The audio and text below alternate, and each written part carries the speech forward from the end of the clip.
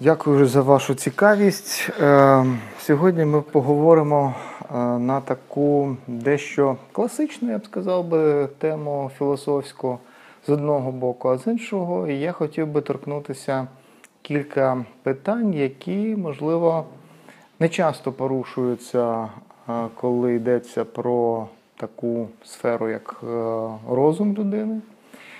І ем, головний такий, напевно, один із головних мотивів сьогоднішньої нашої розмови буде пов'язаний із проблемами обмежень, та, обмежень, які е, висуваються до розуму, але йдеться не про те, що є якась така інстанція, інституція, яка висуває обмеження для розуму. Та. Тобто не про це йдеться, йдеться про те, що е, головним, напевно, в цій справі є те, хто, та як Кант колись та, е, говорив про те, що е, суб'єкт власне сам собі висуває, дає закони. Та, тобто і сам є і тим, хто, е, кого можна назвати законодавцем з одного боку, а з іншого боку, е, можна назвати його ж і е, виконавцем.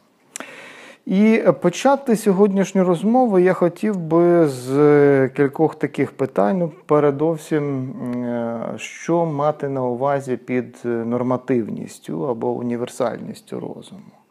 З одного боку, а з іншого боку, подивитися, хотів би подивитися на те, що означає, е, бо, знаєте, не завжди можна порушувати питання щодо свободи розуму, та, тому що. Ем, власне, досить непросто визначити та, таку властивість, е, як розум. Я сьогодні хочу говорити про неї як е, власне, про антропологічну властивість, тобто ту властивість, якою орудує, якою владує сама людина. І отже, е, такі лібертарні та, характеристики розуму поряд з рефлексивними, також, як на мене, досить е, важливо порушити. Ну, а почати я хотів би е, з такої, власне, можливо, методологічної проблеми і поговорити, тому що сфера розуму, як правило, окреслюється проблемою е, чи має стосунок до проблеми раціональності. І от в який спосіб розум вписаний в проблему раціональності, я передовсім і почну говорити. І е, передовсім порушу питання про вплив.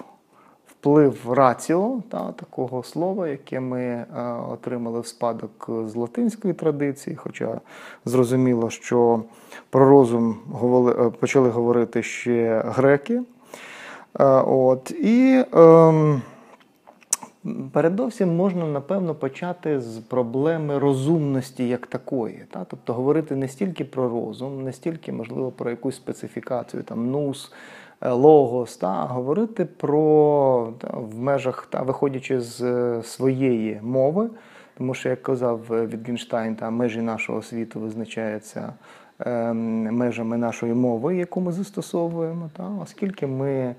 Е, говоримо власною мовою, та, тобто ми і, напевно, таки, за такий вихідний пункт візьмемо е, свою власну мову і почнемо говорити про е, розумність. Та. А що зараховують от в таку сферу розумності? Ну, передовсім йдеться про взаємовідносини різноманітних таких характеристик.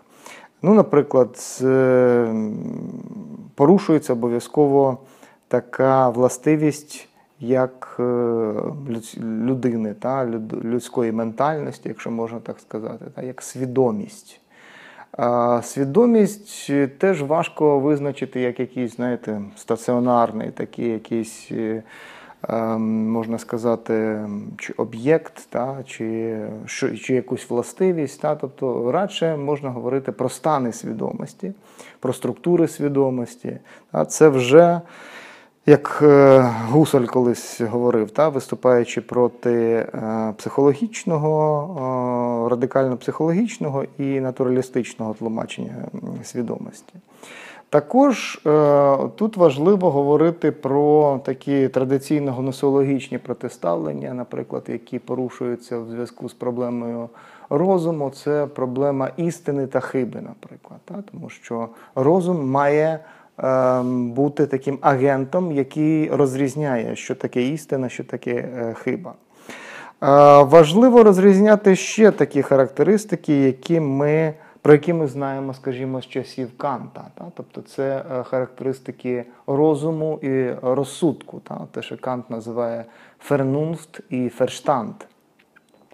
Також е, важливо говорити, от що стоїть за номінаціями, які в найзагальнішому, в найширшому сенсі ми можемо назвати як розумне і нерозумне. Та? Тут, що вважати розумним, а що вважати нерозумним.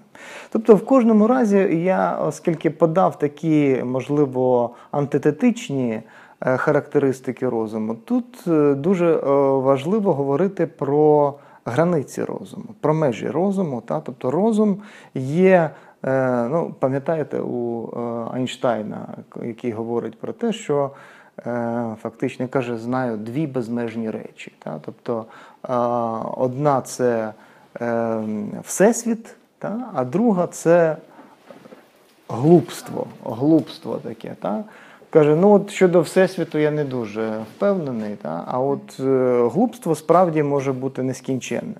Так от розум навряд чи може бути нескінченним. Так? Тобто розум це та така здатність, яка все ж таки має межі, так? яка чимось та обмежена. І в цьому сенсі важливо говорити так? тобто, про те, що е, розум не є такою всевладною характеристикою, не є е, таким абсолютом, якимось таким, та, універсальною якоюсь такою здатністю. Напевно, розум теж от не, не дарма Кант е, ставить проблему меж розуму. Та? Тобто критика розуму для Канта означає визначення його меж, там, де розум діє, і що з ним відбувається тоді, коли він переходить ці межі. Та? Що з ним трапляється фактично. От. І е, розум, фактично, ще одна важлива його характеристика. За допомогою розуму ми ще не мислиме вводимо в розлоги мислення як такого. Да? Тобто е, за допомогою розуму ми і провадимо оцю таку дивну, можливо, на перший погляд, навіть е, погано вхоплювану, схоплювану характеристику, яку ми називаємо мисленням.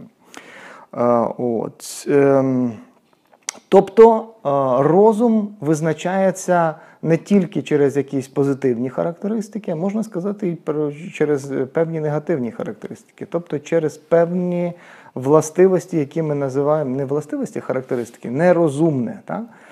Е, ну, Здавалося б, та нерозумне є таким чимось таким, що лежить за обніжками будь-якої розумності, за межами розуму. Та? І тут е, яка рефлексія може бути? Та? Бо розум звикли тлумачити в такому гносеологічному ключі. Та? Що таке розум і раціональність? Та? Це те, що фактично привласнює собі.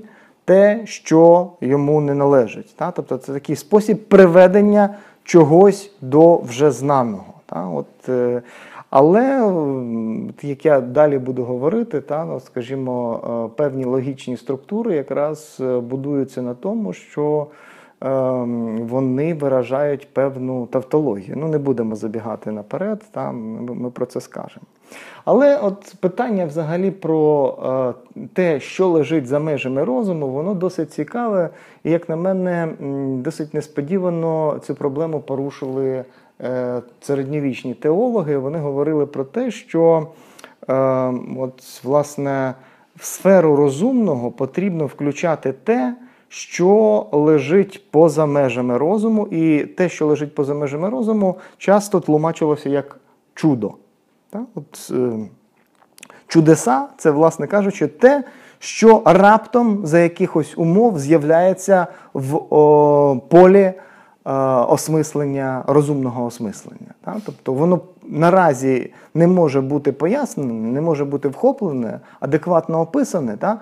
але воно в якийсь спосіб запеленговане, якщо можна так сказати.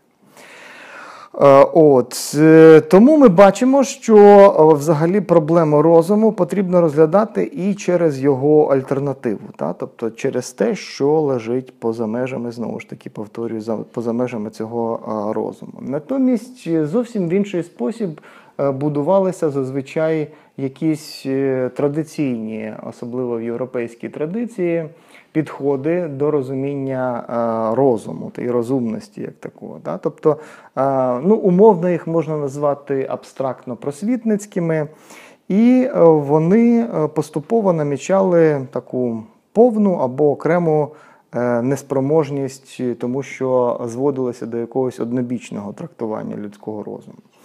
І от, знаєте, такий німецький філософ, як Мартін Гайдегер, він свого часу сказав, що ну от, якщо е, будь-які звинувачення в раціоналізмі, вони є невмотивовані, е, невмотивовані доти, допоки ми не з'ясуємо природу чи основу того, що таке є раціо і що таке є раціональність. Тобто ми бачимо, що проблема раціо завжди залишається проблемою. Не можна достеменно з'ясувати, що ми вкладаємо в е, цю проблему. І е, цікаво якраз от е, порушити питання, чим зумовлюється пошук от такої, про яку ми говорили вже перед цим, такої своєрідної універсальності.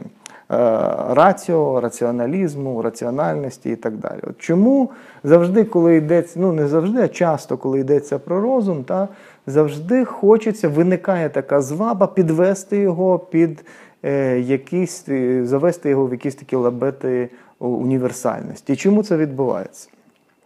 Передовсім, якщо ми почнемо вивчати семантику латинського слова раціо, то е, ми побачимо, що вона, е, ця концептуалізація цього слова, вона доволі розмаїта. Та? І немає якоїсь ясної характеристики, картини еволюції та, цього поняття і взагалі інших понять, які ми використовуємо в якості синонімів, наприклад, інтелект, мислення, розум і так далі. і так далі.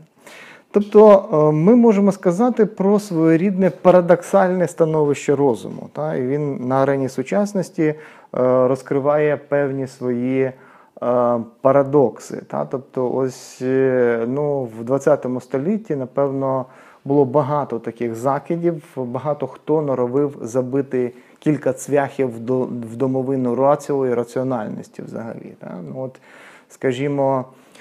Ну, я не кажу про 19 століття з його пафосом ірраціоналізму, так би мовити. Та? Тобто, ось, е, скажімо, там е, концепція е, волі, та? тобто починаючи від Шопенгаура, продовжуючи Ніцше, та?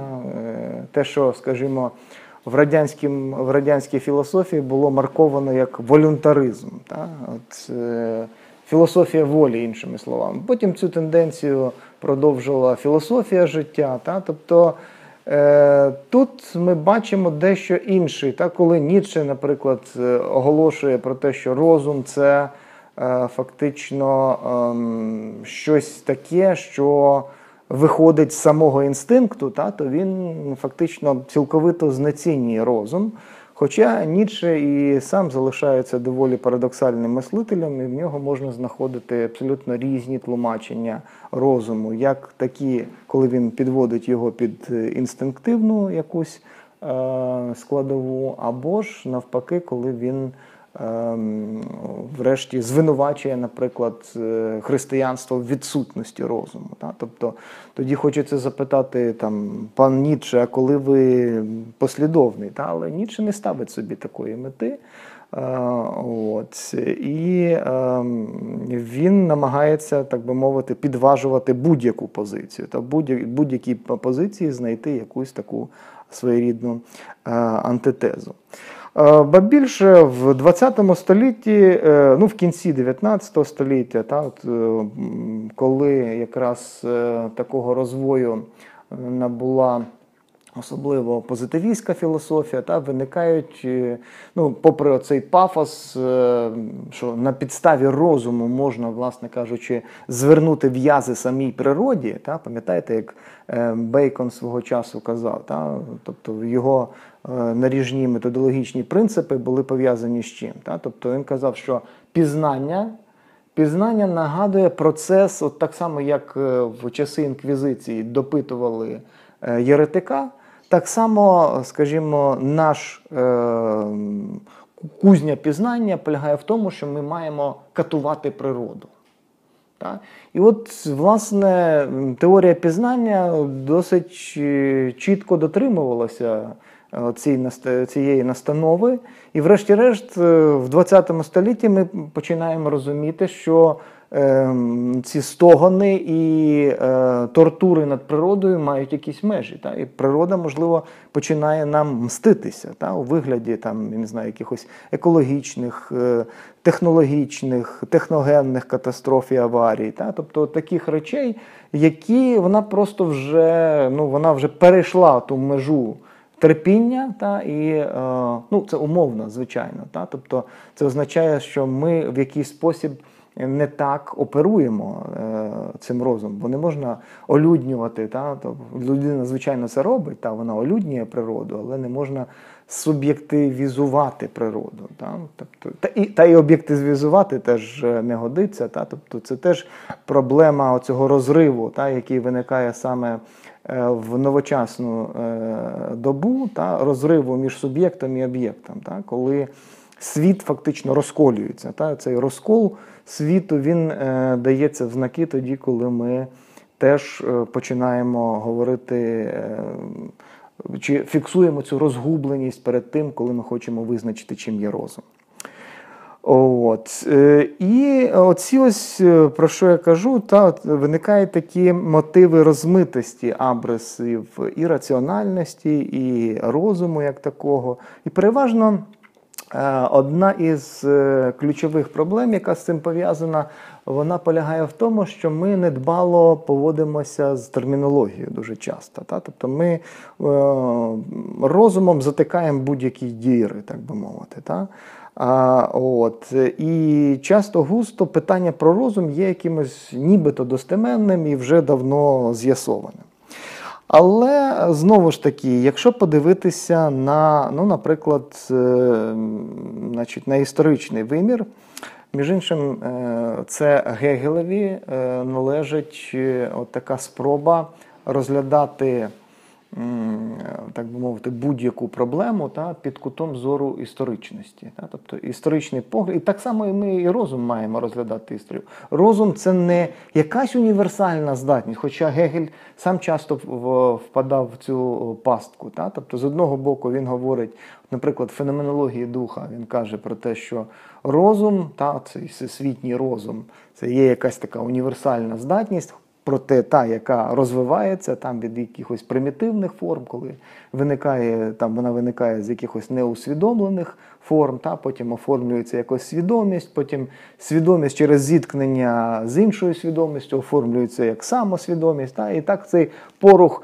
е, веде аж до абсолютного знання. Та, І от тоді, власне кажучи, е, цим і завершується та така одіссея, так би мовити, цього універсального розуму. Тобто, навіть е, зверніть увагу, та, от ми не можемо говорити про розум як про якусь таку здатність раз і назавжди визначену. Та? Тобто ми мусимо говорити про те, як е, ця царина, ця сфера, про яку ми сьогодні говоримо, як вона змінюється історично. Ну і давайте спробуємо так е, зовсім абресно оглянути. Да? Давайте е, ну, передовсім глянемо на античність. Да?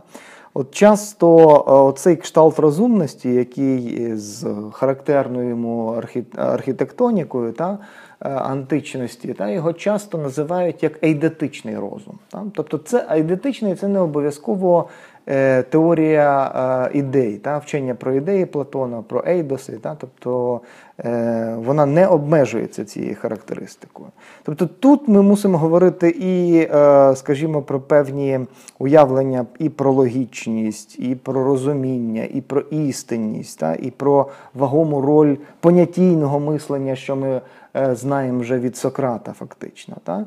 Тобто в цій ейдетичній логіці в ній знаходять місце не тільки ідея і ейдос Платона, та, але й космос перших натурфілософів, логос Геракліта, сферичне буття Перменіда, число Піфагора, форма Аристотеля і так далі. і так далі. Тобто ми бачимо, що ця, е, власне кажучи, архітектоніка вона багатоманітна. Та? Тобто в ній багато різних таких субтопосів. Які знову ж таки з позиції яких ми можемо говорити про природу розуму.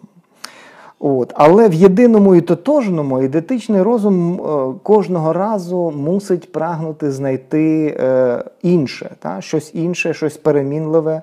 І для чого? Для того, щоб, врешті-решт, розкрити таїну буття. Тобто, от тоді розум виправданий як е, якась така справді самовладна одиниця, якщо можна так сказати. Це так справи полягають з ейдетичним розумом, який ми.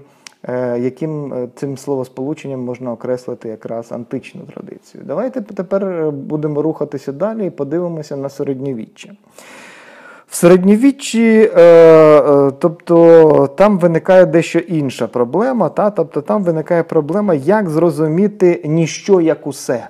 Тобто, е, чому? Тому що е, світ народжується, постає з ніщо. Пам'ятаєте цю доктрину креаціонізму середньовічну?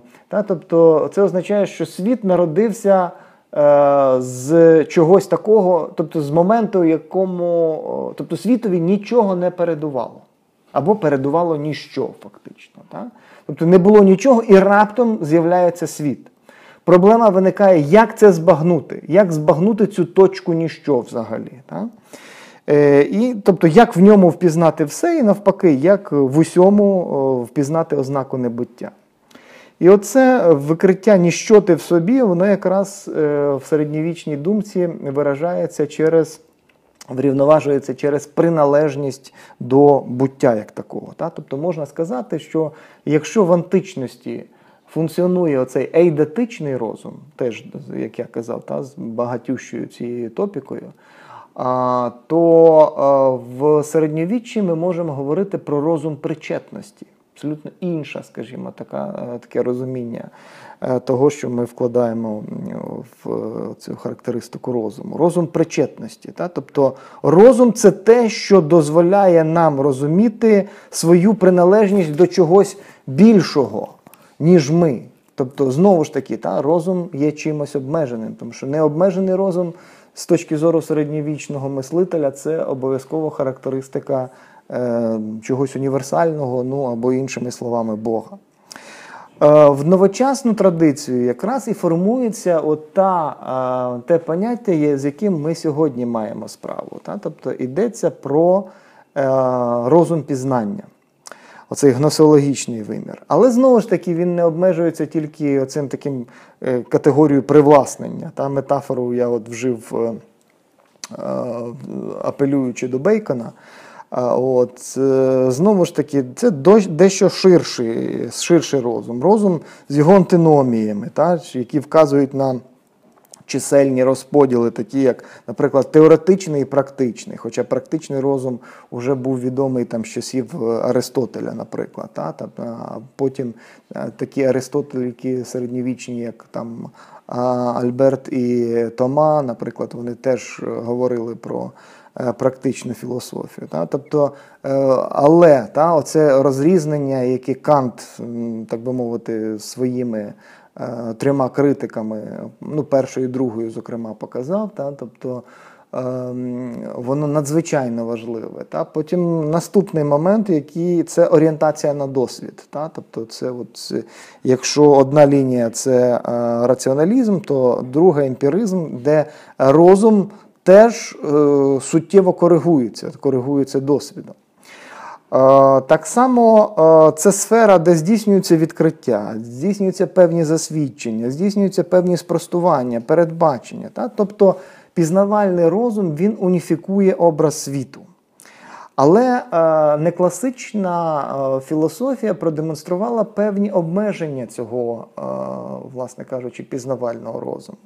Тобто принципи спостереження, невизначеності, доповнюваності це те, що виникає, між іншим, здебільшого навіть у фізиці, а не у, е, скажімо, класичній філософії, та, воно суттєво е, додає, додає до ем, визначення того, як нам.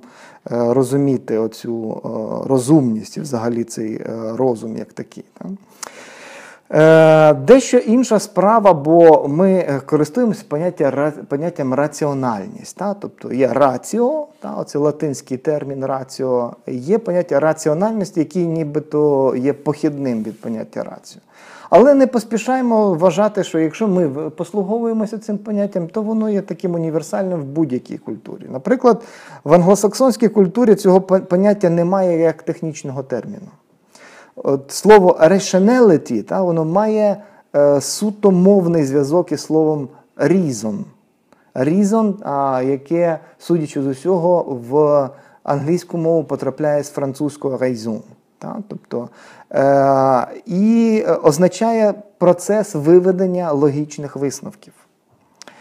Е, в німецькій е, мові термін раціоналітет, та він пов'язаний з згаданим мною сьогодні вже фернунст, і, відповідно, ферштейн, та, тобто з розумом і розумінням. В ще більш ранішній традиції, зокрема в антично-грецькій, та, ми використовуємо там теж багато термінів. Та, Я вже теж про це казав. Я казав і про нус. Та, Наприклад, там можна було б говорити і про е, значить, якісь інші Софія, наприклад, та, тобто Фронезіс, та, тобто, е, але е, я хочу зупинитися якраз на слові логос, та, теж е, термін, який, е, власне кажучи, апелює до, е, до, е, до розуму. І от саме цей термін Цицерон е, перекладає латиною як раціо. Саме цей термін він кладе е, в основу. Те, той термін, який в українській мові е, ми зараз використовуємо як розум. Та? Проте в середньовіччі слово раціо вживається вже дещо в іншому е, контексті. Та? Раціо це, наприклад, як підґрунтя, раціо як основа, раціо як підвалина. Та? Тобто це те, що, скажімо, в німецькій може позначитися, позначатися словом ґрунт. Та? А от е, фернунфт е, передає зміст слова латинського інтелектус. Отже, ми бачимо це неспівпадіння. Якщо ми хочемо накласти якийсь такий трафарет, то ми побачимо фундаментальний незбіг між е, самими поняттями. Так? От. І якщо ми далі будемо затримувати нашу увагу на слові раціо, так, і е, ще заразом якось з'ясовувати е, сенс раціональності, то ми можемо виокремити ну, бодай два таких фундаментальних поняття. Там В українській мові ми одночасно, ми, між іншим, використовуємо і слово е, розум, і рація. Та? От Ми в повсякденній мові. Ну, можливо, це не зовсім повсякденно, та, можливо, в якійсь такій офіційній мові він каже, ну ти маєш рацію, та, наприклад. Та. Тобто, е, чи ця, тобто це означає, що ця думка слушна. Та. Тобто слово рація, та, от, е, цей латинізм е, ми використовуємо в нашій мові. Але що означає? Та, Доволі цікавим є це слово рація. Та? Воно тлумачиться як певна засада, як певна передумова, як причина, як ем, те, що фактично е, в латиною може передатися як принципіум, а грецькою може передатися як архе. Бачимо, от от так грають ці поняття. Та?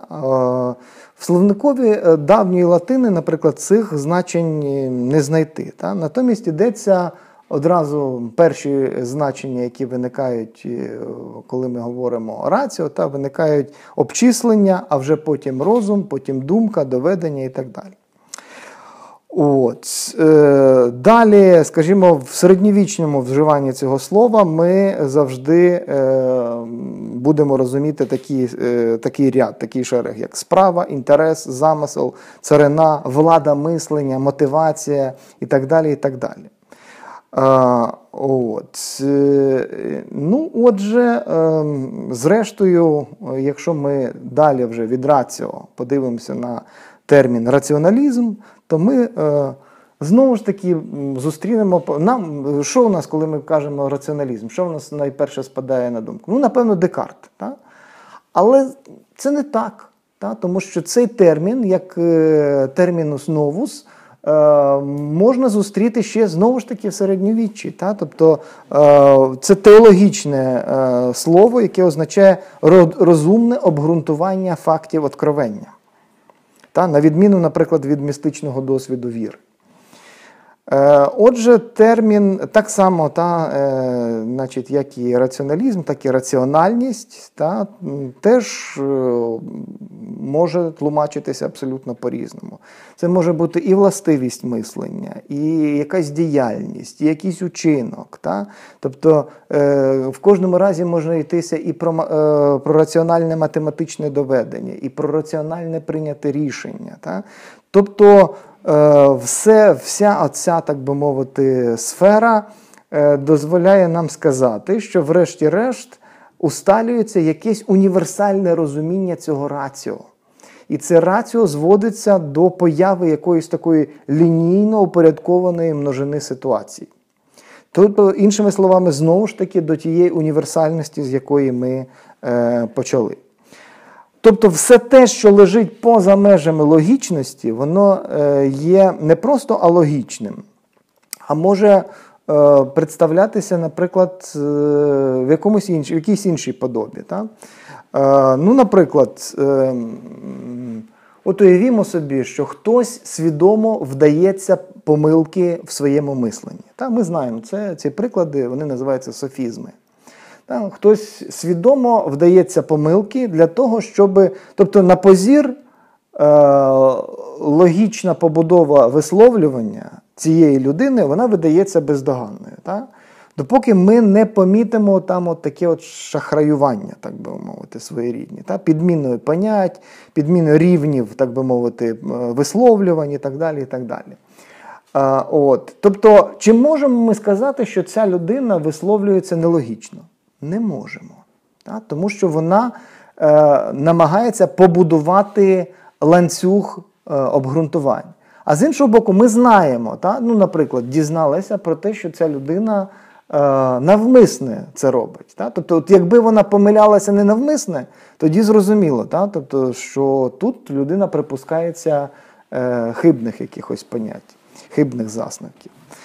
От от такі речі, які, е, власне кажучи, не дають нам можливість зводити поняття розуму до якоїсь абстрактної універсальності чи чи до, до чогось подібного. Та? І це означає, що сфера розуму не може бути, е, не припускає, не може, е, ми не можемо припускатись якогось спрощення в цій сфері.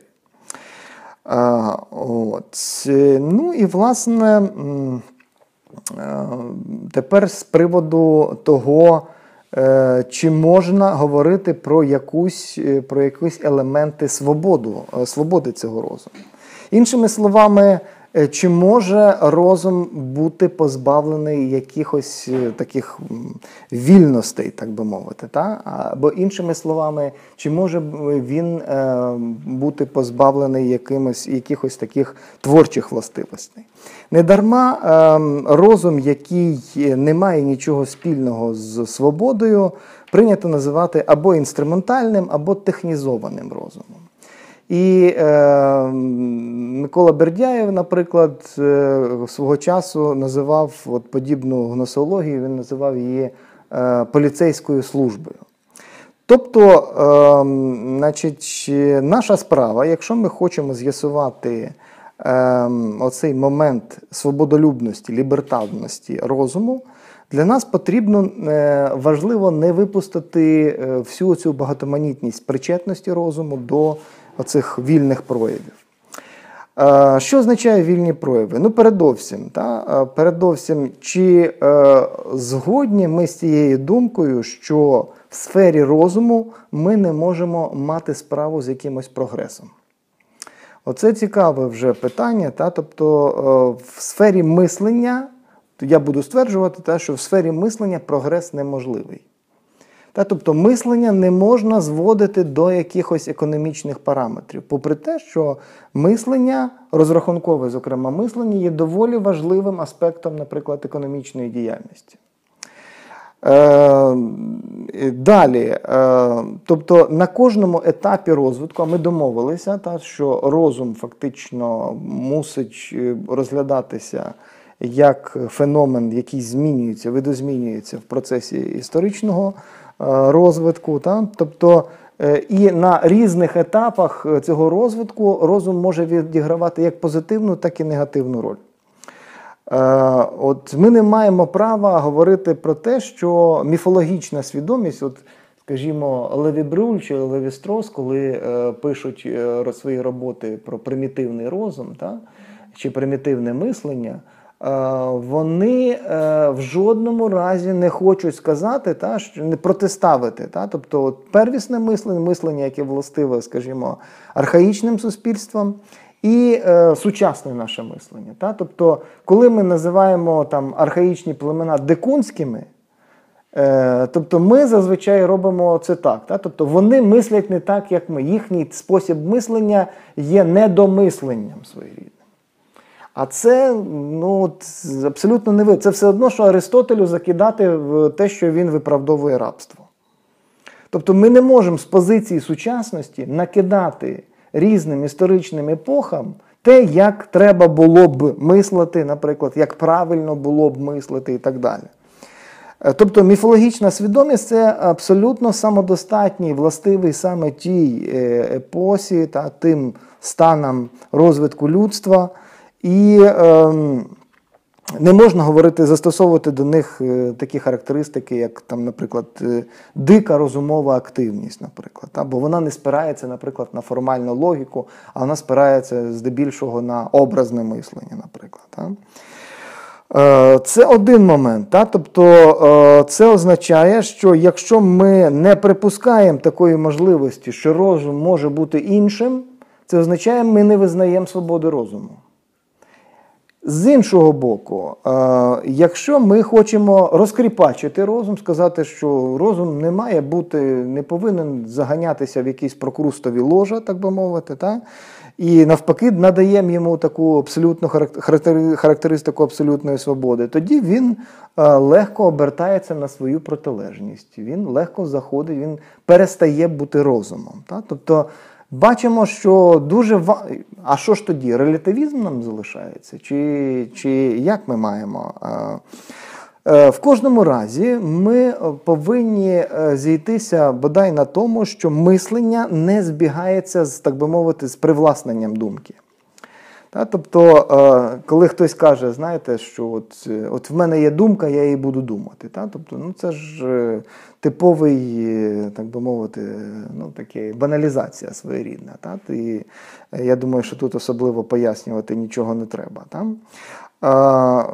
З іншого боку, е, от як говорив Кант, та? ви хочете питання? Угу, Будь ласка. Еволюція разуму невозможна. Это значит, что, э, допустим, Платон, он такой же, как мы в контексте мышления. Просто, просто был выращен в культурной традиции, поэтому пришел к другим выводам. Ну, це однозначно, та? тобто е, це зрозуміло, але з іншого боку, ви бачите, Платон не зовсім релевантний приклад. Чому? Тому що е, те, що ми зараз е, знаємо і говоримо про мислення, Е, здебільшого значною мірою, пам'ятаєте, як Вайд каже, та? тобто вся подальша філософія це коментування до Платона. Тобто, великою мірою та, те, що ми говоримо про розум, це ми говоримо завдяки тому, що що ми це знаємо від Платона. Тобто тут не все так просто. Та? З одного боку, ми розуміємо, та, що е, певний спосіб мислення він диктується і епохою, і часом, та, і тими умовами, в яких е, існує людина. А з іншого боку, ну це як питання щодо достовірності, наприклад. От У Вітгенштейна є така робота, яка називається про достовірність. І він пише таке: він каже, що е, як бути з достовірністю? Каже, що з достовірністю завжди справи полягають двояко. Тобто, з одного боку, щось має бути зафіксованим, а щось має бути абсолютно вірним. От це, це він називає принцип дверних петель.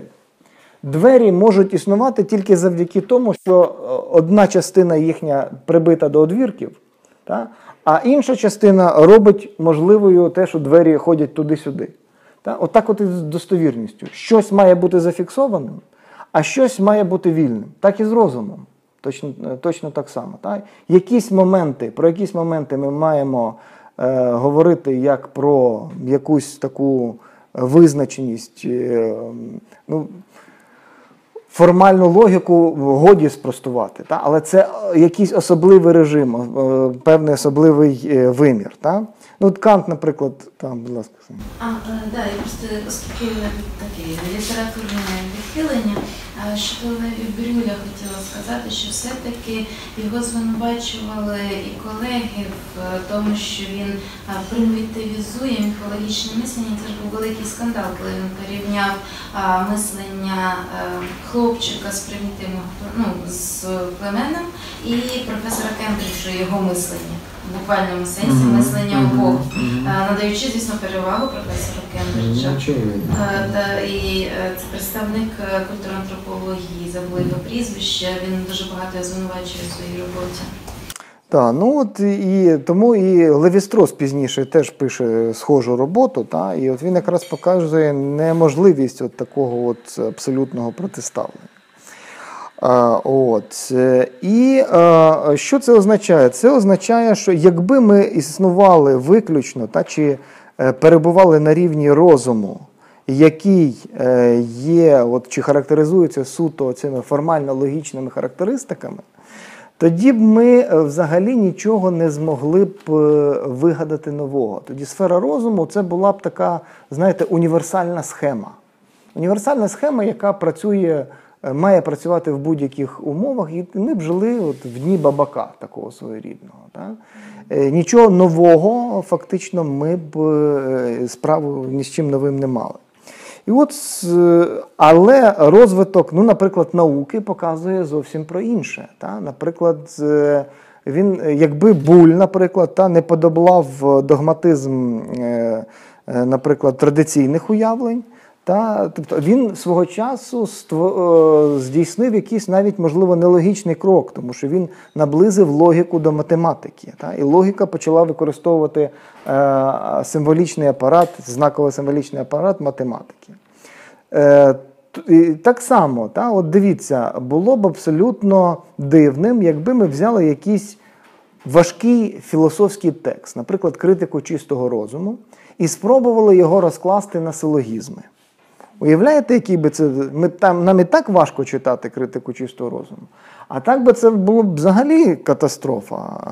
От, е, е, Тобто, от це означає, що застосування схем формальної логіки. Е, воно не завжди виправдано. Це це той самий принцип дверних петель. Щось має бути зафіксовано на логічному рівні, та? Але щось має і бути відпущене для того, щоб ми могли просуватися щось е, кудись далі, е, мати справу з тим, що не піддається спочатку, принаймні, е, формальним порядкам.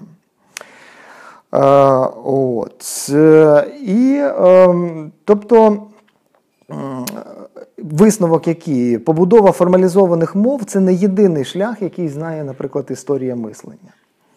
І формальна логіка не є відображенням процесу мислення. Та? Тобто вона існує лише на рівні приписів і для побудови якихось нових е, роздумів. Та? Тобто, що я хочу сказати? От є базис формальної логіки. Та? Тобто, е, Потім ми намагаємося концептуалізувати, наприклад, реальність, е, утворюючи якийсь інший надлогічний рівень, скажімо, понять. Та? А потім його знову ж таки мусимо формалізувати. І так ми робимо, йдемо різними рівнями, так би мовити, так? формалізуючи мірою нашого поступу туди, куди е, намагається сягнути наш розум, так? якщо це можливо. Іноді це е, взагалі-то неможливо. Так? От. Тобто, в кожному разі нам потрібно іноді отримати такий плацдарм, який би був трампліном для наших подальших якихось роздумів, щоб ми могли відштовхнутися від нього, і якщо за потреби, ми могли б його трансформувати. Так? Тобто, іншими словами, ми бачимо, що мислення це нелінійний процес. Мислення завжди розбігається різними шляхами, та, і, е, власне кажучи, нам завжди е, треба не е, мати оцей от як у Борхеса, та? тобто такий лабіринт чи сад е, стежок, які розбігаються. Та? Нам завжди треба мати якусь здатність, яка може контролювати всі ці стежки. Та? І от здатність, яка контролює ці стежки, і може бути названа е, розумом. Та, тобто нам потрібно ще один висновок, який нам потрібно з цього зробити, те, що постійно ми мусимо бути постійно готові до того, що в дослідженні кожний е, наступний крок може бути пов'язаний з зміною пізнавальної орієнтації. Та? Ми можемо повернутися і змінити вихідні положення. Наприклад, та, от дивіться, е, що робить е, Картезій? Картезій переводить е, рівень мислення. Фізичного мислення на рівень оперує поняттям субстанції. А що робить Ньютон? Ньютон відмовляється від поняття субстанції і запроваджує поняття сили. І при цьому він каже, він каже, що я не каже, я викинув Декарта на смітник. Він каже, «Е, завдяки тому, що я стояв на плечах гігантів, та я міг дивитися далі. Тобто, але здійснив він фактично Ну, такий крок, ну, говорячи мовою Деріда, е, деконструкції картезіанської позиції. Так само, наприклад, і Галілей, та, який е, розвиток в науку його полягає в тому, що він не розвивав Аристотелеву фізику. Та, Він побачив її безвихідь. Та, Він запропонував зовсім інші основи, виходити з зовсім інших основ. Е, отже, ем, мислення ще раз, та, мислення не є механічним процесом, мислення не є лінійним процесом. А як тоді? Та? Тобто мислення не можна, подивіться, це навіть е, іноді е, може видаватися зовсім таким несподіваним. Мислення не можна не можна е, захотіти і мислити. Не можна мислити з власної охоти, з власного бажання. Я хочу зараз з 16 до 18 я буду мислити. Неможливо це. Та? Тобто мислення це радше той стан, який в нас виник, щось е, щось викликає в нас е, мислення. Тобто, іншими словами, от як Ніцше про це говорить, і Мамардашвілі в ХХ столітті про це говорить, та? що мислення виникає з потрясіння. Е, мислення виникає з дивування якогось, та? від наявності неможливого. Наприклад, Мамардашвілі це говорить як? Він каже, що от наше існування в світі це є феномен неможливого. Чому саме ми існуємо в світі? Тобто це не, немає ніяких закономірних е, е, закономірності, якої, на підставі якої ми мусимо саме ми з'являтися в цьому світі. Але попри все ми є. Та? І оце доволі така несподівана річ, яка і змушує нас, штовхає нас до ну не всіх, звичайно. Та? Е, не всіх, е, і для декого це ну, таким just being, та? тобто от, ми живемо, щоб просто жити. Та? Тобто, а до думки, ну, думка е, то таке, та? тому можна спокійно без неї обійтися. От. І тому дуже часто буває нелегко вербалізувати думку. От Ви знаєте, такий теоретик ХХ століття, теоретик театру, як Антонен Арто, він одного разу написав ем, свої поетичні проби, відіслав е, в журнал. Ем, значить, І е, отримав негативну відповідь від е, від редактора. Редактор писав, що, шановний пане Арто, ну, я прочитав ваші вірші, я не можу їх надрукувати. Вони, ну, ну погодьтеся, ну це ну, і такі, знаєте, вічлива відмова.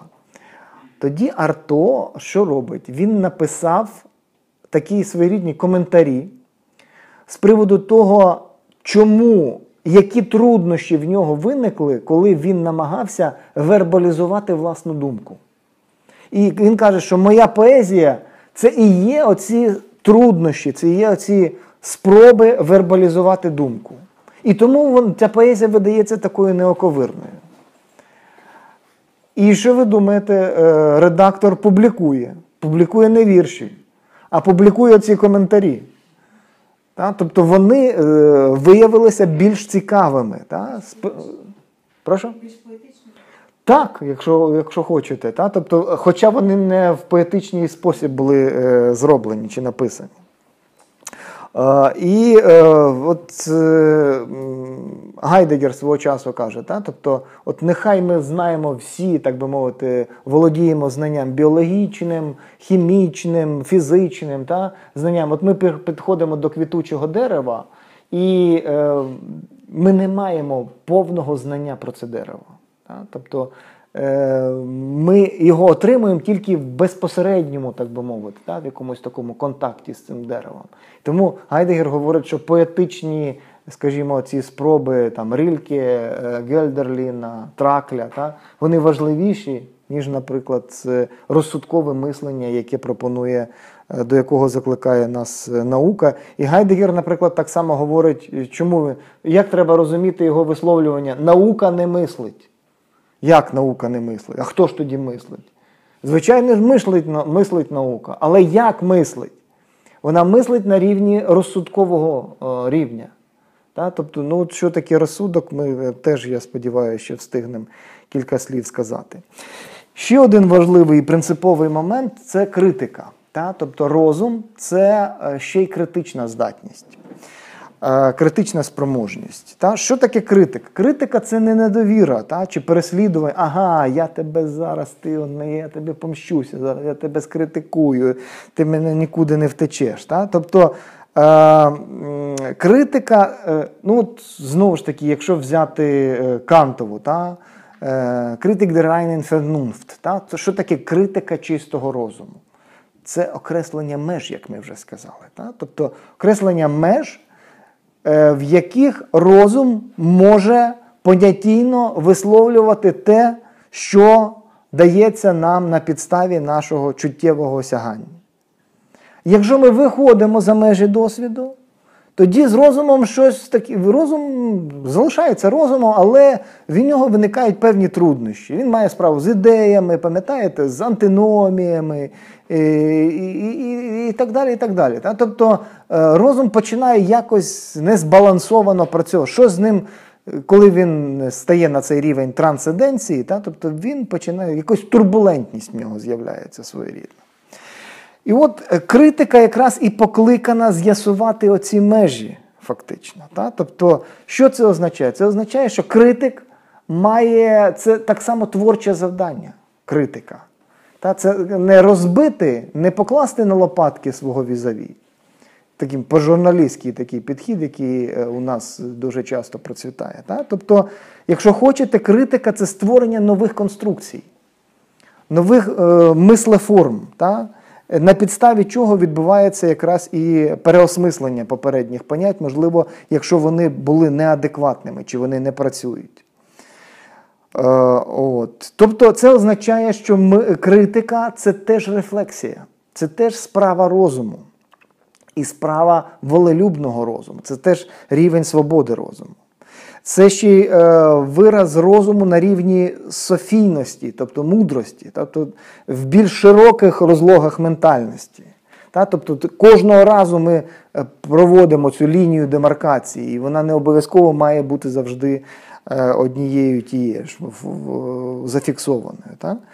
Тобто розум у критичній функції він окреслюється як думка, яка звільнилася від чогось такого, що накинути нам зовні. І от просвітництво у Канта, та, тому і означає це е, не приріз знання, як хотіли енциклопедисти. Та? Тобто написати якомога більше статей в енциклопедію для того, щоб зафіксувати, е, застовбити, так би мовити, територію знання. Кант говорить, що це вихід е, з стану. Ну, я не буду казати, та, що це там е, дорослість, так би мовити, та, вихід з повноліття і так далі. Та. Тобто Е, це вихідна позиція усвідомленого стану незнання. Тобто нам, ми не повинні боятися говорити про те, що ми, як Сократ спочатку, та, я знаю, що я нічого не знаю. Це не маска така, що ха-ха-ха посміятися, чи не тільки маска. Та? От. Тобто це усвідомлення того, що наше мислення починається з незнання. Незнання як перед не залишатися на рівні невігластва, а відштовхуватися від нього. А? Тобто шукати, тому, скажімо, от е, один із а, аргументів, які наводять, е, наводять е, представники філософської герменевтики Гайдегера, потім Гадамер, так? коли вони кажуть, що потрібно орієнтуватися на передсуди. На гадки. Та? Тобто філософи від часів е, Платона від гадки відмовляються. Та? Тобто гадка це хибні судження завжди. Та? Вони заводять нас е, в трясовину мислення. Ми там потонути можемо. Та? Ні, якраз треба не боятися ходити по болоту, ходити по. е, Ну, тут, звичайно, можна вдавати, що ти ходиш по болоту. Тоді, ми, як Мішель Пешо каже, та, тоді іноді от він звинувачує Гусарля в тому, що каже, що той каже про достовірність. Та? Е, Не може бути чогось абсолютно достовірного.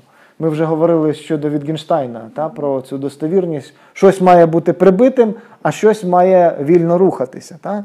Тобто, а іноді ми поводимося так, як барон Мюнхгаузен, коли витягає себе за волосся. Та? Тобто, я вважаю, що я стою е, значить, на, на, болотистій, е, на болотистому ґрунті, та? тому що я тримаю себе за волосся. Та? Тобто, це така ілюзія, удаваність е, своєрідна. От. е, Ну і е, е, тому якраз от, що я хотів іще сказати, та, що е, коли ми хочемо поставити питання про підґрунтя нашого знання або підґрунтя основи, про основи нашого розуму, та, тобто це завжди питання, яке стоїть між тим, де ми будемо стояти міцними ногами, та, а де ми будемо стояти над безоднею. Тобто це завжди, як е, канадійці кажуть, хаф на пів. Та? Тобто це або-або завжди. Та? Тобто це така непевна завжди ситуація. І це знову ж таки, повертаючись до початку нашої розмови, це ситуація між розумним і нерозумним. Та? Коли ми балансуємо весь час. І цей міра цього балансу, вона якраз і е, виміряється тим, е, от наскільки далеко ми зайшли, відійшли від е, розуму, та? нам треба повернутися назад, та? але і на, нам не, не треба залишатися на цих е, е, позиціях формально-логічної універсальності. Та? Тобто, оце і є цей простір балансування і є свободою розуму, про який ми весь час говоримо. І в цьому сенсі розум є конститутивним принципом, на, на підставі чого можна про щось говорити як про розумне чи нерозумне, та? Про, говорити про раціональність. е, Як е, про якусь таку спрямування до вищих форм розумності і так далі. І так далі. Ем, от, ем, е, Отже, якщо ще раз повернутися до поняття критики, то ми можемо сказати, що метою критики є не пізнання заради самого пізнання, а здійснення думки в істині. Та? Тобто, коли ми спрямовуємо свою думку на осягання істини. І е, шукати істину це означає просуватися від незнання до знання. Е, І зрозуміло, що цей е, шлях він не має е, своєї, свого фінішу.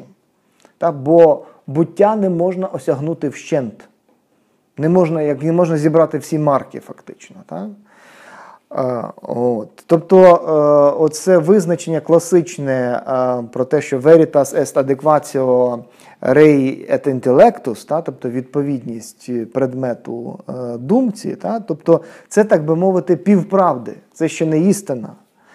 Е, От, тому що е, завжди ми е, маємо включати щось іще, так би мовити. Та? Тобто, якщо ми перетримуватимемося виключно цієї, цього, цієї тези, та? відповідність речі нашій інтелектуальній думці, та? тоді ми будемо багато втрачати. Ми втратимо небуття Парменіда, ми втратимо е, матеріальне у Платона, ми втратимо невиразне у е, Декарта і Ляйбніца. Та? Ми не втратимо все те, що от е, в акті феноменологічної редукції пропонував відкидати е, Гусарль і так далі. І так далі та?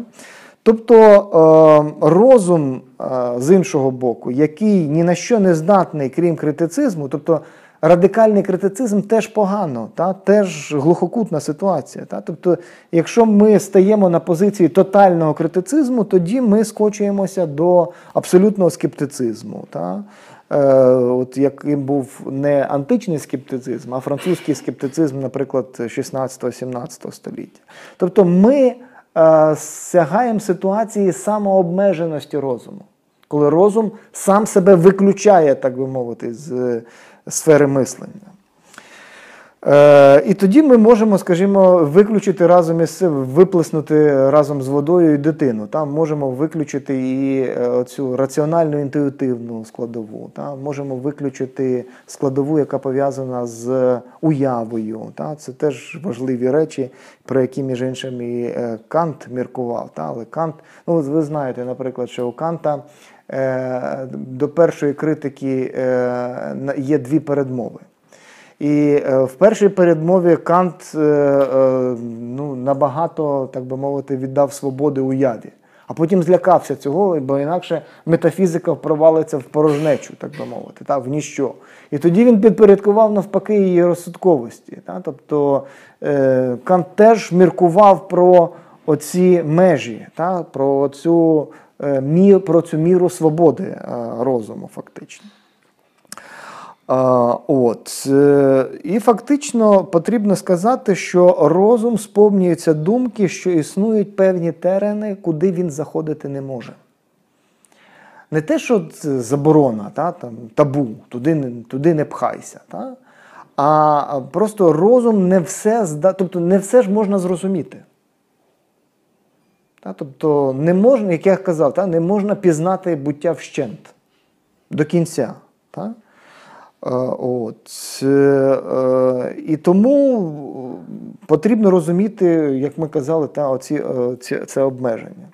Ну і на сам кінець я хотів би ще е, окреслити дуже коротко оці властивості, та, про що ми говорили стосовно кантового розрізнення на розум і розсудок. Та? Тобто є фернунфт, а є ферштанд. Ем, тобто, як правило, дуже часто розум зводиться до рівня, як я вже казав сьогодні, та, такої е, універсальної формальної логічності, та, такого рівня, формально-логічного рівня. Але ще Кант знову ж таки показав, та, що логіка, е, попри те, що вона спрацьовує та, як тавтологія своєрідна, це своєрідний колос на глиняних ногах. Та. Тобто е, за допомогою неї можна багато чого обґрунтувати, але е, вийти на рівень нового, бо розум, розуму ж важливо ще пізнати щось нове. Та. Тобто, от як ми виходимо на рівень чогось нового. І е, фактично, е, тобто, от, і відбувається якраз оцей е, розподіл. Та? Тобто, що таке розум і розсудок? Це не дві е, різні речі, які ми маємо, не дві різні здатності.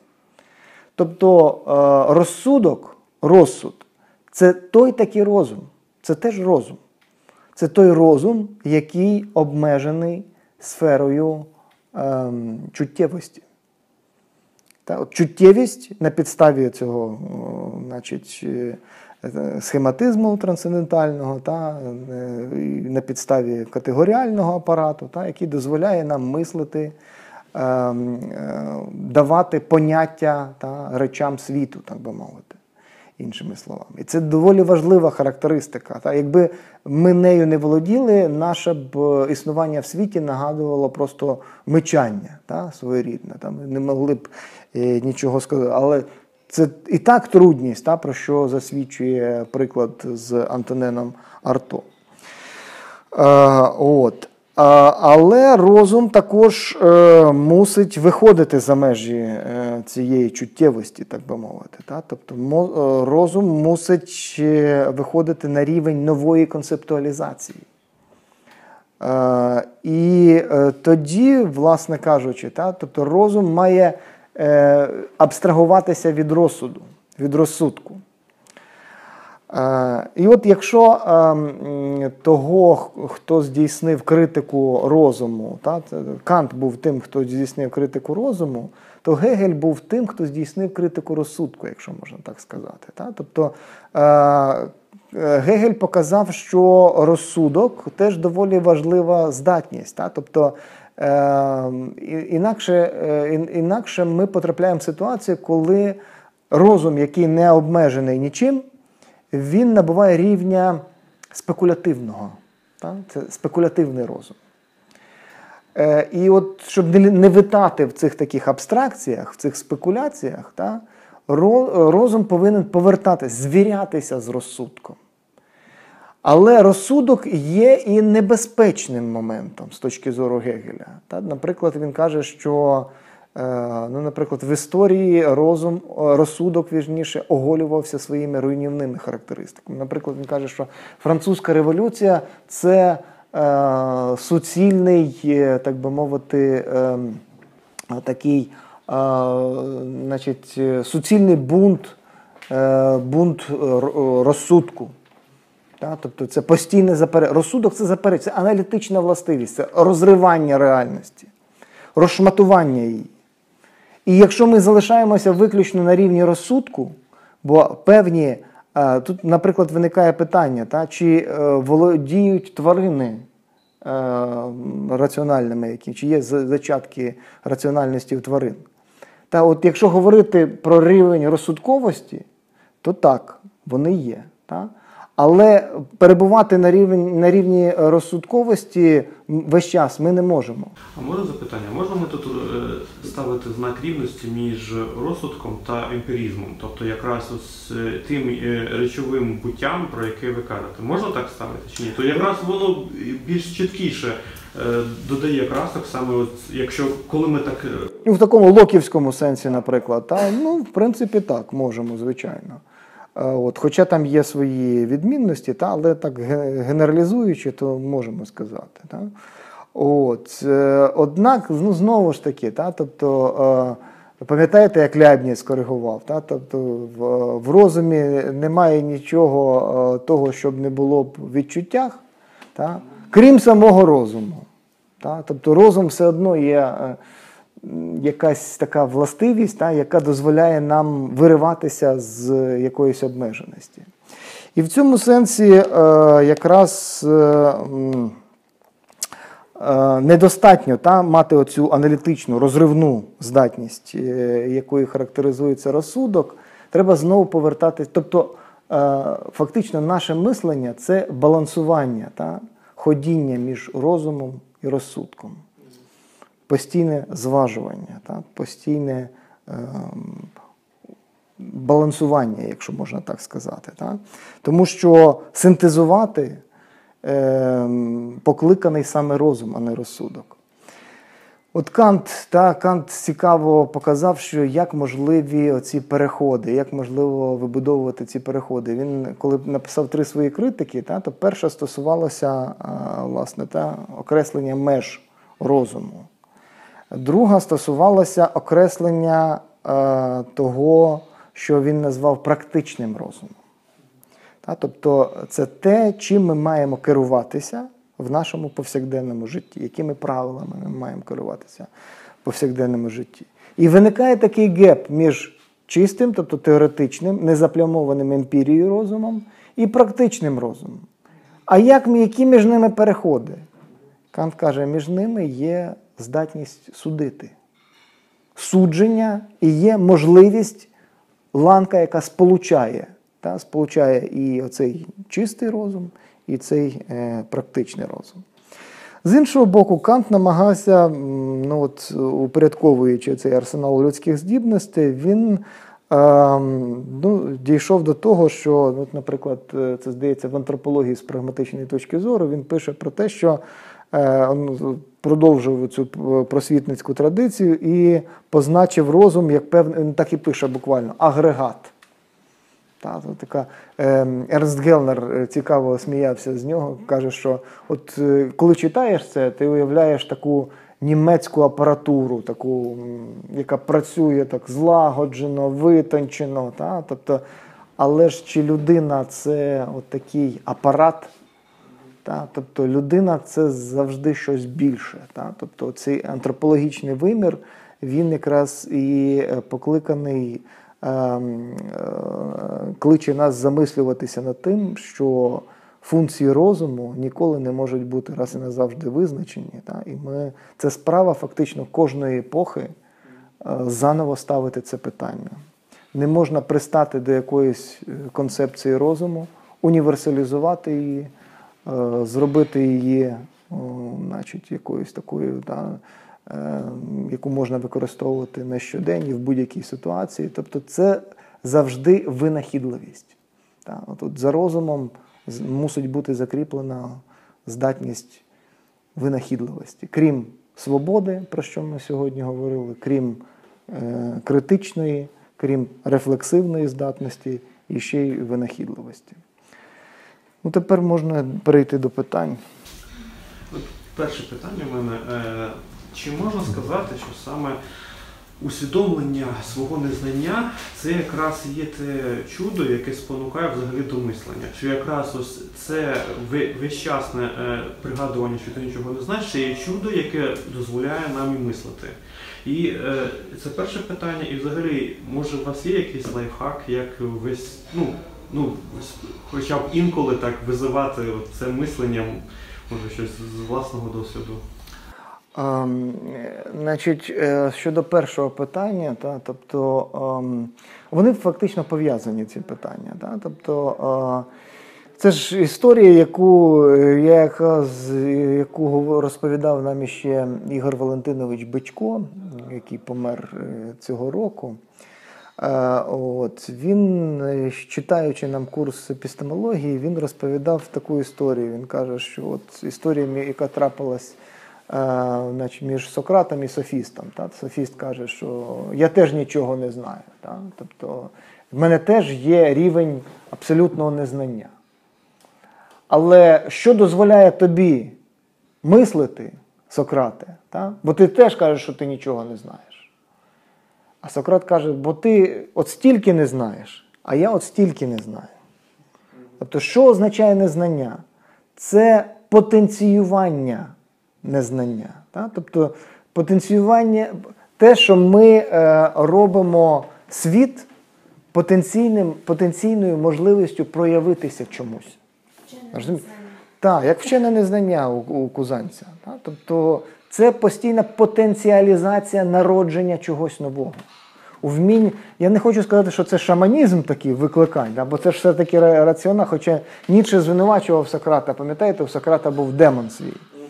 Демон, який забороняв йому, казав, що туди не ходи, те не роби. Він тільки, він тільки в негативний спосіб. Він не казав, зроби оце. Це якраз друге питання ваше. Та? Чи є якийсь лев, лев факли не сказав. От. От. Е, Тобто ем, е, тут тільки та на, рівні заборони. Фактично, е, все решта залежить від нас самих. Ця винахідливість, цю винахідливість ми маємо, спром- маємо викликати самі. Ніхто. Каже, що ми рафінуємо від відчуттів рації до інтелекту. Власне, рацію ми дійсно категоризуємо цей світ, але якщо ми це вже навчимось робити е, цьому закони логіки, можемо вийти в е, позалогічну сферу, вже інтелектуальну, і креаціювати щось нове. Але от з іншого боку, знаєте, як е, от Декарт свого часу він. Е, ну, пам'ятаєте, та, що в кінці життя він уже поїхав в Швецію, та, він викладав е, ем, значить, королеві шведській.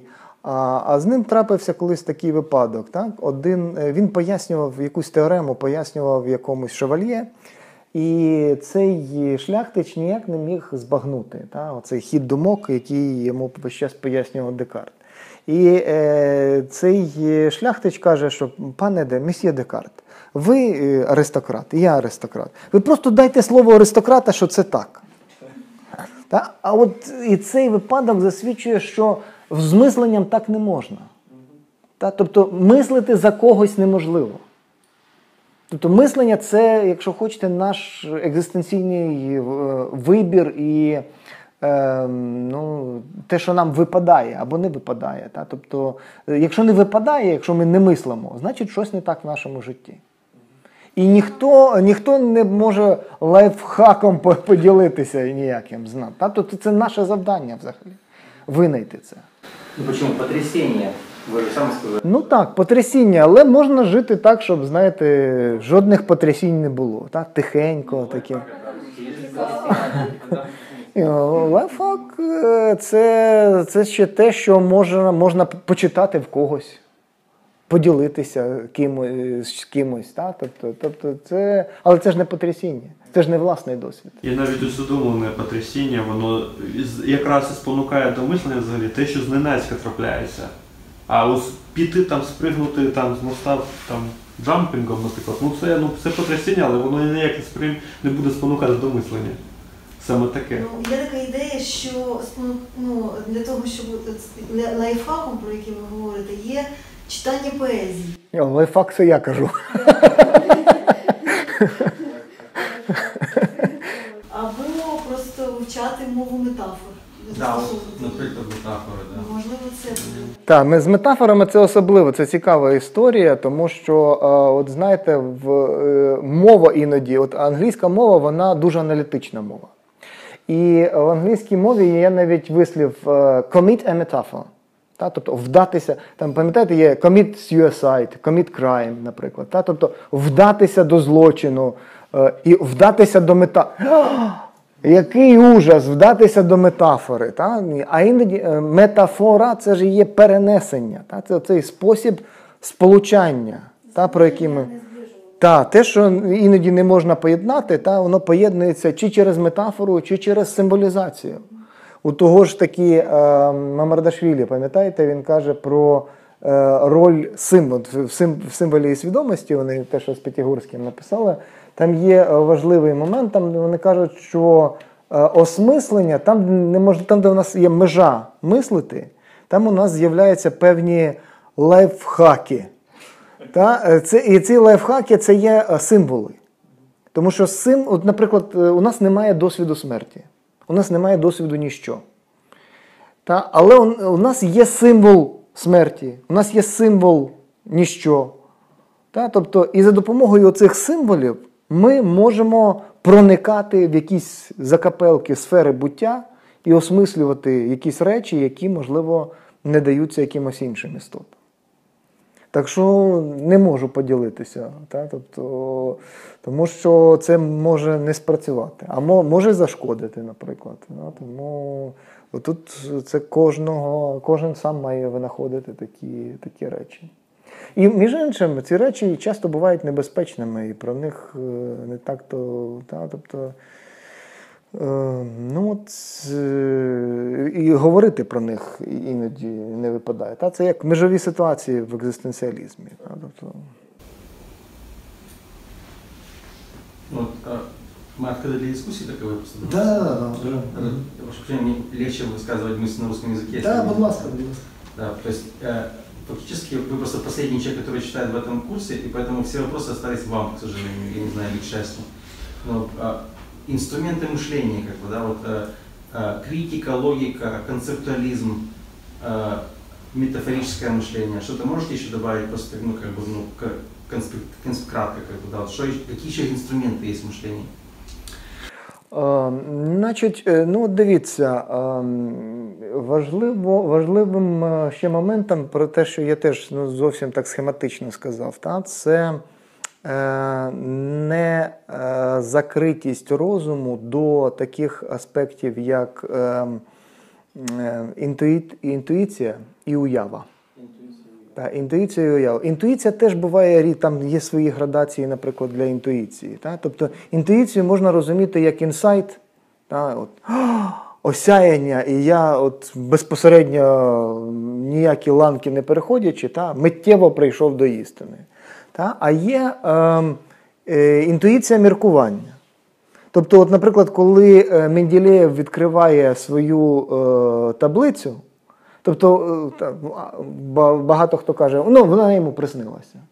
Ну вона ж йому не просто так приснилася. Та? Тобто він же спочатку вів цілі напрацювання, та? він рухався до цього, та? До, поки це все не, якось не склалося в його голові, і то він зрозумів, за яким принципом це треба впорядкувати. Так? Але це теж інтуїція, але і іншого дещо типу. Е, так, тобто тут є різні градації цієї інтуїції. Так само є різні градації уяви, наприклад. Так? Тобто е, Кант розрізняє продуктивну е, уяву та, і репродуктивну уяву. Репродуктивна це коли я дивлюсь на вас, заплющую очі, і в моїй уяві постає та, картинка, яку я щойно бачив, наприклад, ви. Тобто, так? А є е, значить, е, продукт, креативна уява. Та? Це те, що, тим, що письменники, художники користуються. Та? Тобто е, це не те, що от я дивлюсь щось, ну, художники іноді малюють з натури, та? а іноді малюють з уяви, наприклад. Та? Тобто образи, які синтезуються в їхній уяві. Е, важливим ще аспектом, крім цього, мною названо, важливими аспектами є, наприклад, такі процедури, от на відміну від класичної гносологічної е, процедури. Є ще і, е, наприклад, герменевтичні процедури, такі як розуміння і інтерпретація. Тобто, тут, бачите, герменевтика теж дозволяє. Ну, по-перше, значить, важливим для герменевтики є герменевтичне коло, та принцип герменевтичного кола. Якщо для логіки там навпаки є принцип порочного кола. Тобто ми весь час нібито Ем, ну, От як в цьому в парадоксах чи софізмах, та? Там, як е, з парадоксом ем, значить, ем, як прокритянина, пам'ятаєте? Е, значить, Такий-то, такий-то він скрита. І він каже, що всі критяни брехуни. Та? А він сам е, критянин, значить він брехун. А він каже, що всі брехуни. Значить, якщо він брехун, значить ні, всі критяни говорять правду. Але ж він і сам критянин. Значить, він і і, по, і ми так рухаємося по колу. Та? А от герменевтичний принцип він говорить як? Е, тобто треба не вирватися з кола порочного, а навпаки, вміти зайти в нього. А як вміти зайти? Треба рухатися від елементів окремих до цілого. І від цілого до елементів. Та? І в такий спосіб виникає сенс. Сенс не буває ніколи завершеним. Сенс постійно накопичується. Чим більший історичний процес, тим більший, даруйте за метафору, згусток цього сенсу. Тобто в історичній перспективі сенс тільки зростає. Ну, ще є різні е, такі підходи. Наприклад, можна говорити про е, принцип, е, ну, про концептуалізацію ви вже сказали, та є принцип наприклад, семантизації та, чи символізації, про що я теж вже сьогодні казав. Та? Тобто, коли ми використовуємо символи для того, щоб щось зрозуміти. Та? Там, де ми не можемо безпосередньо на підставі якогось досвіду, та, ми використовуємо символи. Символи обов'язково мають справу з е, потенціюванням, тобто з ем, множинними логіками та, з е, багатоманітними цими, та, багатомодусними логіками. Е, Іншими словами, ми маємо справу з віртуалізацією мислення, з віртуальними принципами. Е, з, Тут є і свої, ну і з, значить, як, з множинними світами. Ну, от дивіться, е, типовий приклад. Та? Тобто ми можемо сказати, що. Е, Арту, ні, е, Шерлок Холмс живе на вулиці Бейкер-стріт, 22Б. Тобто е, це буде істинним чи хибним це висловлювання? Хибним. Та? Тому що Шерлока Холмса це. Та, це як е, мені сестра колись розповідала, вона працювала в британському посольстві, і люди, там треба було аргументацію на інтерв'ю казати, чого ви хочете їхати в Англію. І люди кажуть, подивитися на могилу Шерлока Холмса. Та? Тобто е, дехто, для декого це абсолютно істинне висловлювання. Та? А е, тобто ми ж знаємо, що Шерлока Холмса не існувало. Та? Тобто це хибне висловлювання. Але якщо ми скажемо, Шерлок Холмс живе на вулиці Бейкер-стріт 22Б в романах Конан Дойла, то це буде істинне висловлювання. А ми що зробили? Ми потенціювали світ. Ми показали, що існують і різні світи: світ наш онтологічної реальності, нашого повсякдення, і світ, який виникає при прочитанні творів Конан Дойла. Розумієте? І таких світів можна набудувати багато. Правда, інша справа можна заблукати в цих світах. Та? Тобто, які, пам'ятаєте, принцип матриці в трилогії Матриця, там, де, де тоді справжній? І ці проблеми вирішували і філософи, і Декарт, наприклад, ще вирішував. Та? Пам'ятаєте, як Декарт е, каже, е, вирішує цю проблему? А раптом світ, в якому ми живемо, це не реальний світ, а світ, який створив злий Деміург.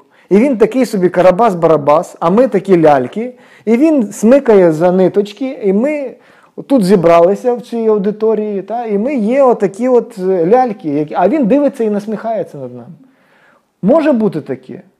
І от Декарт каже, могло би бути, якби я в цьому не сумнівався. Тобто, бачите, тобто це потенціювання, е, є інші межі для цього потенціювання множинності цих світів. Та? Наприклад, коли е, Бодріяр говорить про симулякри. Та? Тобто е, наша навіть повсякденна реальність, вона на, напхана різними симуляціями. І завдання мислення якась полягає в тому, щоб вміти розрізняти ці симулякри.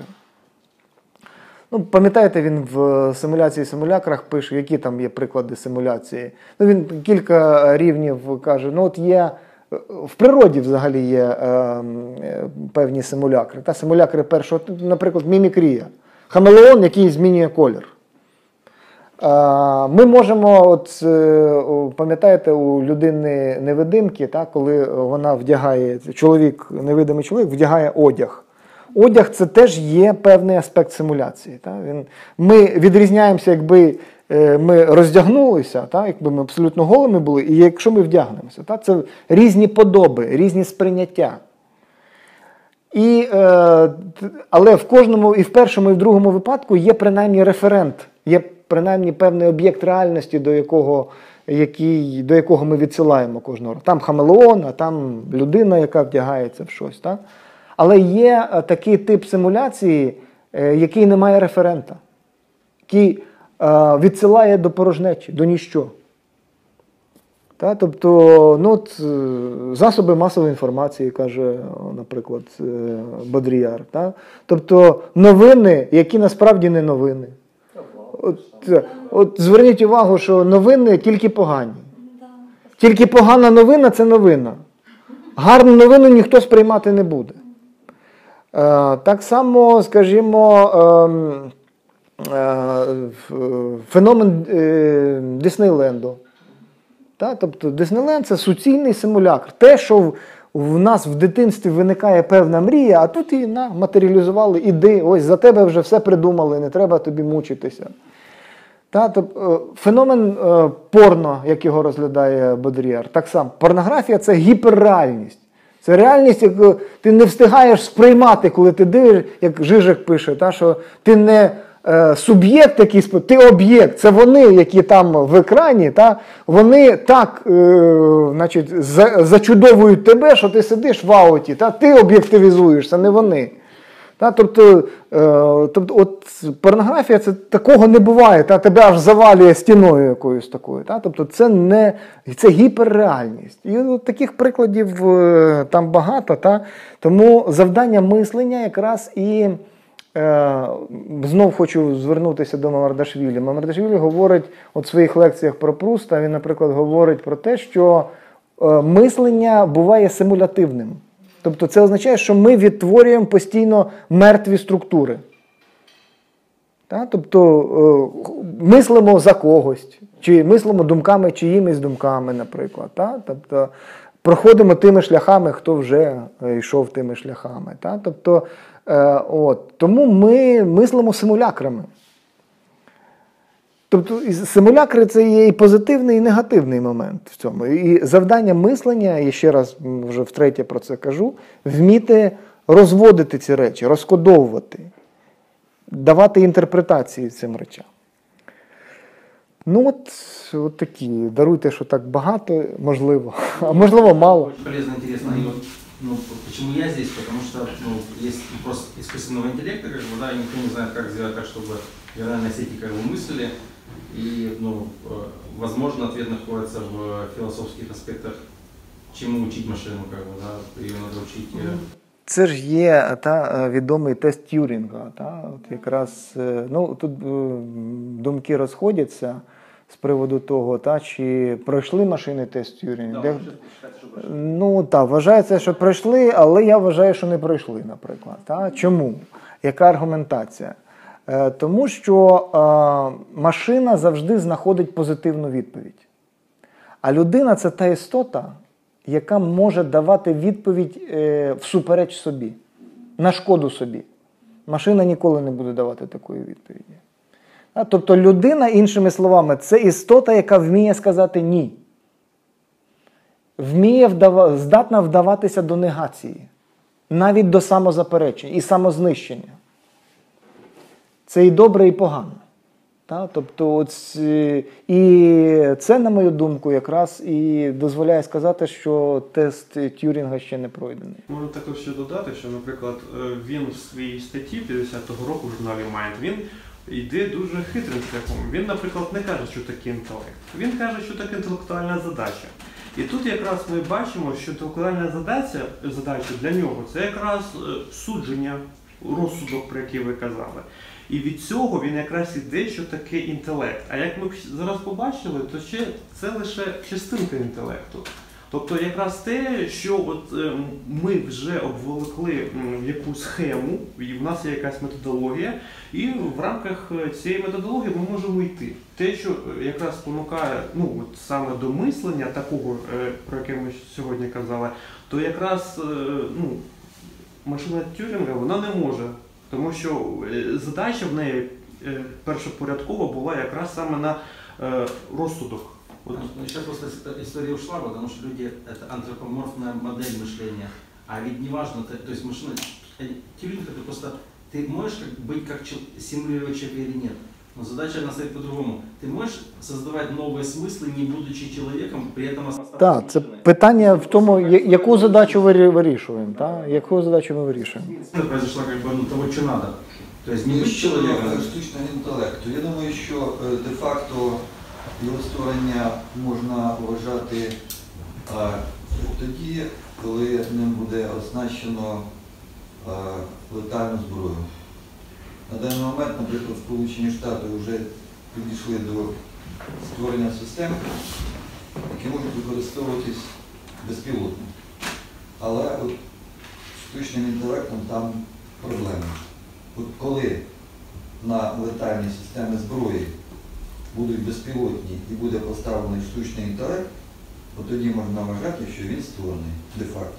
Тобто, коли штучному інтелекту буде дозволено приймати рішення щодо знищення ворога. Ну тут е, людині не, не, не кожній можна довіряти та приймати такі Ну, рішення. Це цікаво, тому що, наприклад, е, якщо ми звернемося до е, Віннера, да, е, е, який якраз вважається батьком кібернетики, то він в своїй роботі якраз Горд Медолем каже, що взагалі ми не повинні давати інтелекту, штучному такому інтелекту, взагалі якусь е, зброю тощо. Тобто е, єдине, що коли ми можемо використовувати цей штучний інтелект, це в парі з людиною. Тобто він якраз бачить, що ми можемо розглядати там, е, там в медицині, всі в деяких таких речах, де ми вже знаємо. Ну, у нас є, чіткі рамки, рамці, ну, ну, проигрыша и победы, будем так говорить. И вот, соответственно, уже когда и, и в рамках игры. Почему? Потому что штучный интеллект очень хорошо может спокойно там работать, например, в играх, да. Почему вот такие достижения, это там в ГУ, там в StarCraft 2 там и так далее. Потому что есть четкие рамки, в которых мы работаем. Если мы расширяем их до бесконечности, то мы, соответственно, ну, он не справляется. Например, я всегда люблю говорить в таких случаях, что вот, например, там э, Google, да, дал э, штучному, ну, искусственному интеллекту свободу воли, да, что, мол, хотели, что и делай. Но он, например, за, за год понял, что, например, котики это очень важно в Ютубе, да, например. Ну, вот это яркий пример того, что если мы бесцельно что-то направляем, то по факту мы ничего не можем сделать. Нам всегда нужно понимать э, эти рамки, в которых мы движемся. А кто, как не человек, сам задает эти рамки? И, соответственно, у нас тут как раз вот это вот круг порочный, из которого мы по факту не можем выйти. То есть я представляю себе искусственный интеллект только как инструмент. Ну, например, в таком случае очень хорошо подпадает под э, понятие, была первая лекция по э, нейропсихолог нам рассказал, что есть несколько видов интеллекта. Ну, соответственно, э, мы в таком случае можем считать, что это не- некое протезирование, да, соответственно, ну, например, там машина, да, она быстрее меня ездит. Ну, по факту это улучшение меня, Раз- но она разве лучше меня? То есть она, ну, все равно как бы есть такой момент, что мы э, обволакиваем себя всеми этими инструментами, в том числе, например, ну, частично вот эта вот рационализация, мы можем тоже дать откуп, там, например, какой-то машине, потому что у нас скопилось определенное количество примеров, которые мы можем использовать. Но это все равно это некий инструмент. То есть можем сказать, что, например, там перфоратор лучше, чем я, например. Но я же могу тоже там делать дырочку в стене, но нет, но это только улучшение. Мы, все- мы видим, что это всегда некое улучшение тех свойств, которые у нас уже внутри есть. Но вот эта вот креация, создание что-то новое, это как раз отсутствует. То есть мы по факту не можем до этого дойти. Так же самое, вот я почему вспомнил про Виннера, он как раз очень такая, отчасти вот эта его работа, некая такая пророческая, я бы даже сказал бы, что фактически оно таки получается. То есть то, что, о чем мы сейчас говорим, это в любом случае все достижения, это перцептрон, да, и все остальные э, алгоритмы, которые сейчас используются, они были написаны в 50-х, 60-х годах. То есть фактически, кроме обычного наращивания мощностей, мы, ну, больше нечем нам похвастаться. Соответственно, мы, когда обращаемся к нему, у нас сразу встает на свои места. И он довольно-таки аргументированно, там, аллюзии к Богу, э, к Библии и всем остальным моментам очень красиво это показывает. То есть вот как раз вот то, что нам сейчас говорят, что, э, что делать человеку э, в эру искусственного интеллекта. Это что? Это мышление, это философствование. То есть как раз то, чему мы не можем никак повторить. То есть вот эти вот все креации, о которых мы говорим, да, вот это как раз, опять-таки, ну, может ли, например, там робот быть человеком? И э, почему так вот даже сейчас некие тренды, что именно э, нанимают специально философов, которые в компании начинают пробуждать, ну, пытаться это как-то Так ви страшно говорите, нанімають філософів.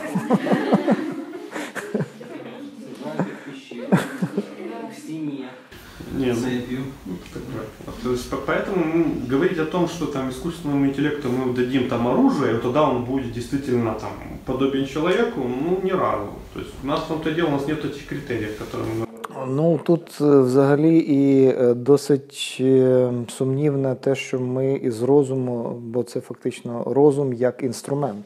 А, а от е, якраз останні 100 років ми бачимо м, якісь такі негативні та, наслідки того, коли розум інструменталізується. Тобто розум не тільки інструмент.